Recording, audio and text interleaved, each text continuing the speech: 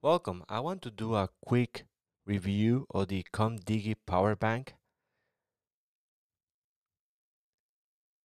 It's a magnetic wireless power bank and it comes in three different colors, green, blue, and gray. So let's open it.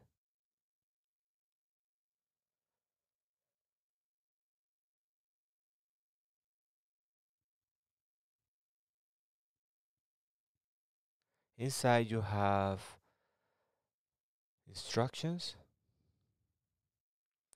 also uh, a USB A to USB C cable so you can charge your power bank, and the power bank itself.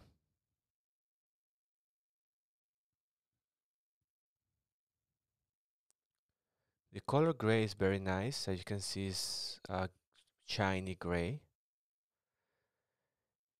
It does have a light indicator to to show the um, the status of the battery.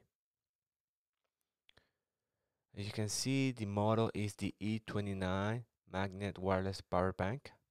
It has a capacity of 10,000 milliamp and you can use the USB-C to charge the device and charge other devices.